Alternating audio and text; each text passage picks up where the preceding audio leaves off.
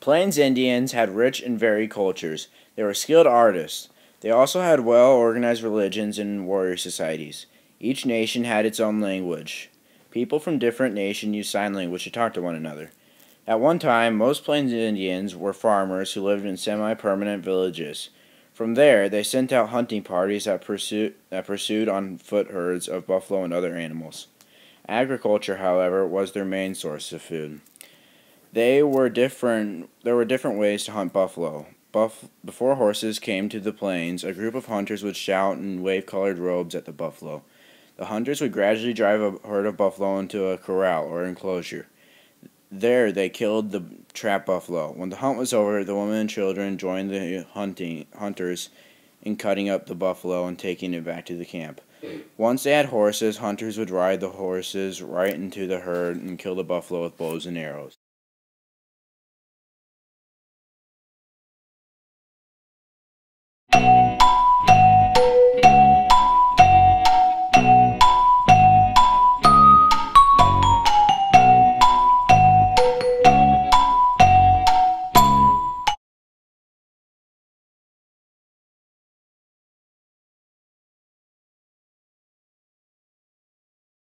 The Western mining boom had begun with the California gold rush of 1849. When the gold rush ended, miners looked for new opportunities. A mere rumor sent them racing east in search of new and new, new strikes.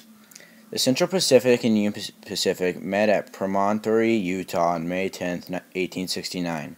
Leland Stanford, president of the Central Pacific, dropped a solid gold spike into a pre-drilled hole in the rail.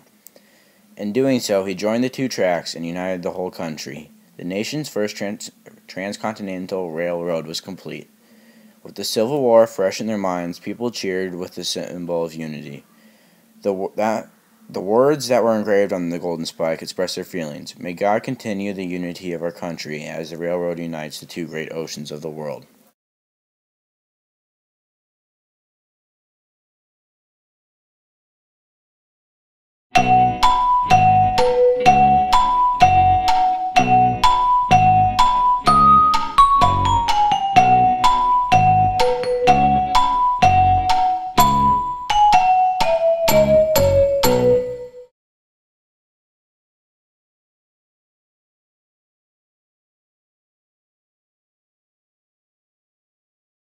Before the arrival of settlers from the United States, the Spanish and then the Mexicans set up cattle ranches in the Southwest. Over the years, strays from these ranches, along with American breeds, grew into large herds of wild cattle. These wild cattle were known as longhorns. They roamed freely across the grassy plains of, the, of Texas. After the Civil War, the demand for beef increased. People in the growing cities in the East needed more meat. Miners, railroad crews, farmers, and growing communities in the West added to the demand. The Texas Longhorns were perfect for the commercial market. They could travel far on little water, and they required no winter feeding. In the in the 1870s, ranching spread from north from Texas and across the grassy plains. Soon, cattle grazed from Kansas to present-day Montana. Ranchers had built a cattle kingdom in the West. They came to expect high profits, millions of dollars poured into the West from people in the East.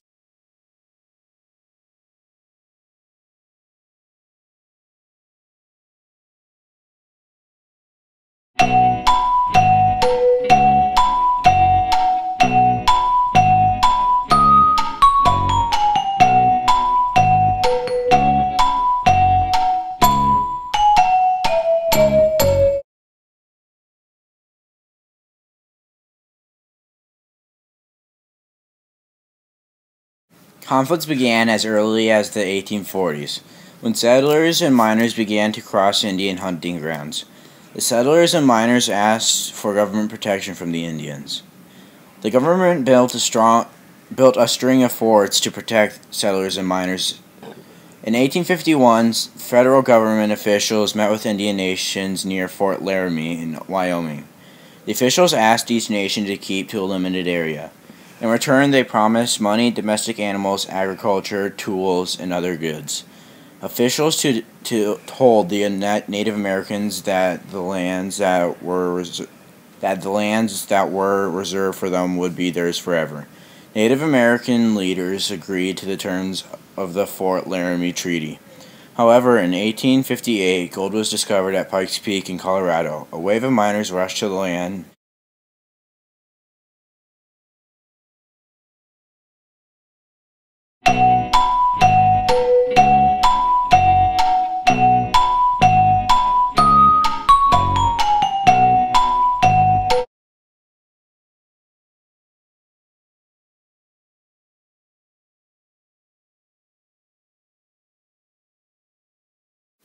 As settlers spread across the West, free land began to disappear. The last major land rush took place in Oklahoma. Several Indian nations lived there, but the government forced them to sell their land. The government then announced that farmers could claim free homesteads in Oklahoma. They could now they could not take their claims, however, until noon of April 22, 1889. On the appointed day, as many as 100,000 land seekers lined up at the Oklahoma border. At noon, a gunshot rang out the Boomers charged into Oklahoma, but they found that others were already there. Sooners had sneaked into Oklahoma before the official opening and had staked out much of the best land.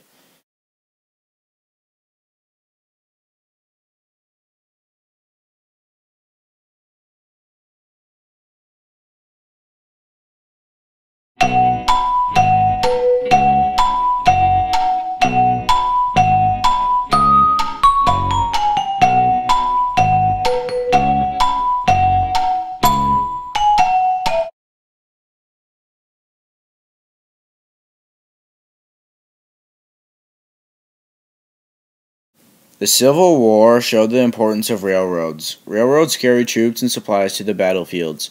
They also moved raw materials to factories. After the war, railroad companies began to build new lines all over the country.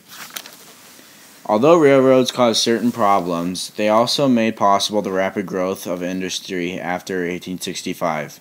Building rail lines created thousands of jobs. Steelworkers turned millions of tons of iron into steel for tracks and engines. Lumberjacks cut down whole forests to supply wood for railroad ties. Miners sweated in dusty mine shafts, digging coal to fuel railroad engines. The railroad companies themselves employed thousands of workers. They laid track, built trestles across rivers, carved tunnels through mountains, and built countless railroad stations.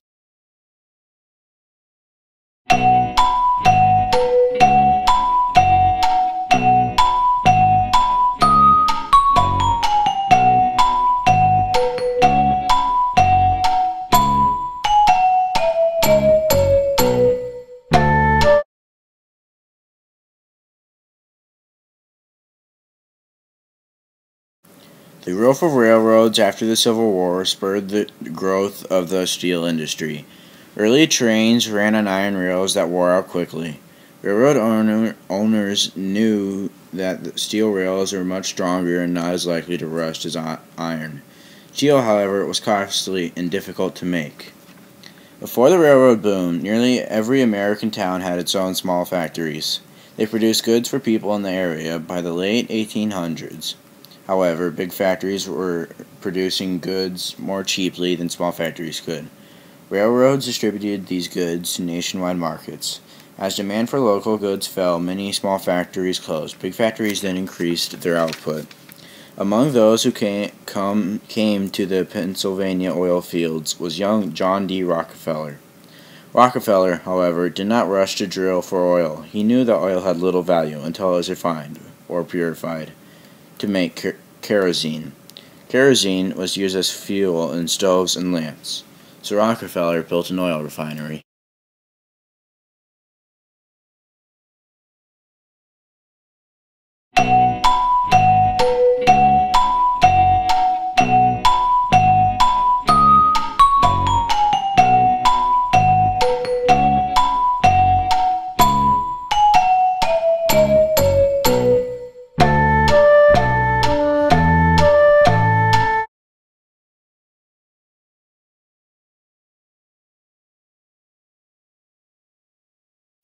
Better communication was vital to growing American businesses. Some remarkable new devices filled the need for faster communication. The telegraph, which had been in, in use since 1844, helped people around the nation stay in touch. For example, a steelmaker in Pittsburgh could instantly order iron ore from a mine in Minnesota. In an age of invention, Thomas Edison was right at home in 1876. He opened a research laboratory in Menlo Park, New Jersey.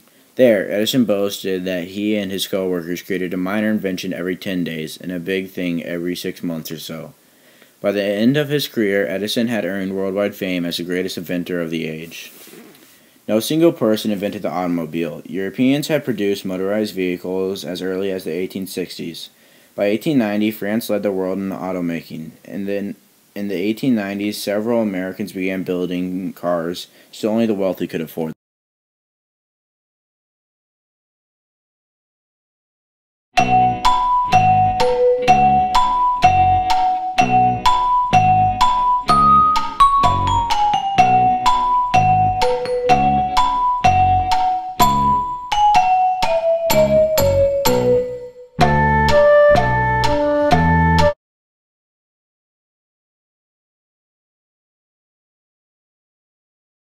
Workers had to adjust to the new kinds of factories of the late 1800s. Before the Civil War, most factories were small and family run. Bosses knew the workers by name and chatted with them about their families. Because most workers had skills that the factory needed, they could bargain with the boss for wages. By 1890, one million women worked in American factories, in the, in the textile mills in New England and the tobacco factories of the South. Women formed the majority of workers in New York City. Women outnumbered men in garment industries. A new era of industry led to vast econ- economic growth at the same time. It created economic strains in the rush for profits. Many industries expanded too fast. As goods flooded the market, prices dropped to cover their losses. Factory owners often fired workers in the time. Factories geared up again and the cycle was repeated.